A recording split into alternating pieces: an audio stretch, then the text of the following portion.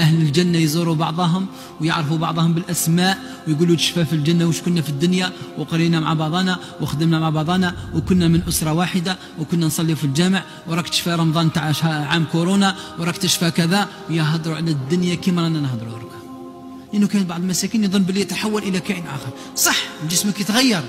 ما تحتاج إلى تبول إلى غائط حشاكم. ما تحتاج يعني آه إلى أشياء التي يحتاجها الإنسان. ما تمرضش ما تكبرش. أهل الجنة. لا يموتون لا يمتخطون لا يشيبون لا يهرمون لا يمرضون لا ينامون. رقدوا ما كاش في الجنة. آه نتعبوا لا لا ما تحرش أصحاب الجنة يومئذ خير مستقرا وأحسن مقيلا. كاين القيلولة. لا سياس تتكى شوية هكذا. لماذا قال لك ما كاش النوم في الجنة؟